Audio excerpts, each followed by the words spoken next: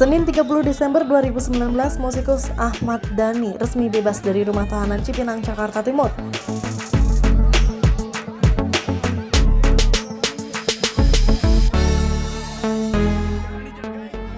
Ahmad Dhani dijemput oleh sang istri Mulan Jamela dan ketiga anaknya Al, El, dan Dul. Terpantau Ahmad Dhani keluar dari rutan Cipinang sekitar pukul 09.36 waktu Indonesia Barat. Ini molor dari jadwal awal yang ditetapkan sekitar pukul 08.30.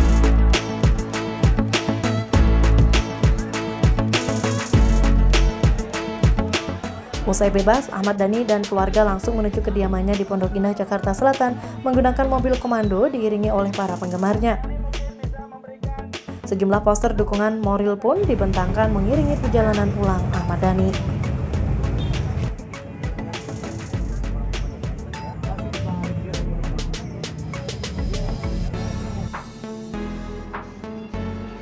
Sebelumnya, Ahmad Dhani difonis satu setengah tahun oleh Majelis Hakim Pengadilan Negeri Jakarta Selatan karena kasus ujaran kebencian.